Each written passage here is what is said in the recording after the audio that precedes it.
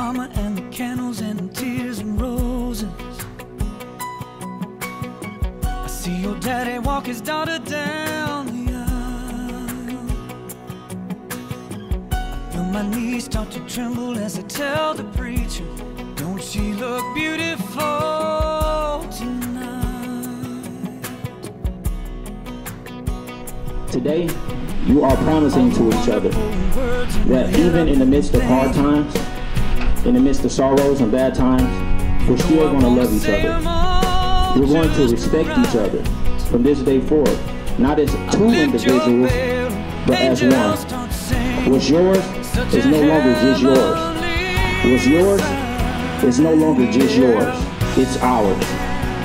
Lost in this moment with you, I am completely Joshua, as everyone knows, I'm not always the easiest person to deal with, but I promise to be there when you need me, to fill your days with sunshine, to comfort you, and to encourage you, to help you reach your goals, and most importantly, be your best friend, and to love you with all my heart for the rest of my life.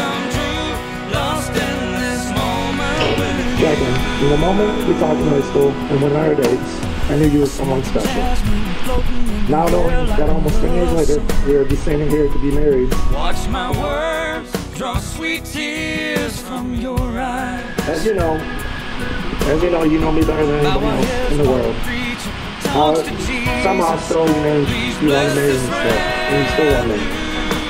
You are my best friend and one true love.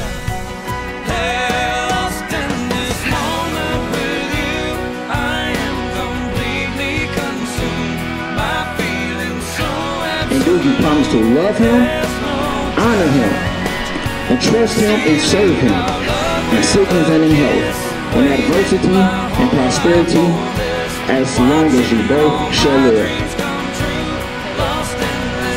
Joshua, I have you place the ring halfway on your body.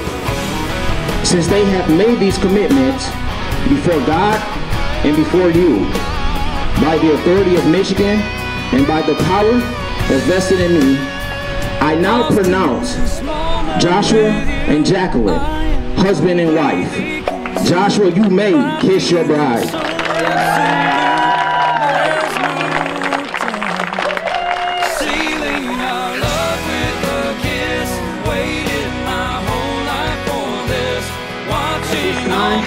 Let's welcome Mr. and Mrs. Joshua and Jacqueline Brogan.